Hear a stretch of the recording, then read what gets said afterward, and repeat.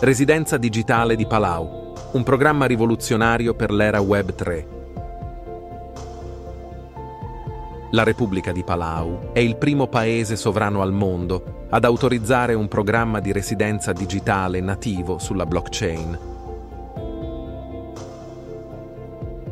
Il programma di residenza digitale di Palau offre ai cittadini di tutto il mondo la possibilità di ottenere comodamente da casa un documento di identità legale emesso dal governo, sia in formato fisico che digitale, sulla blockchain.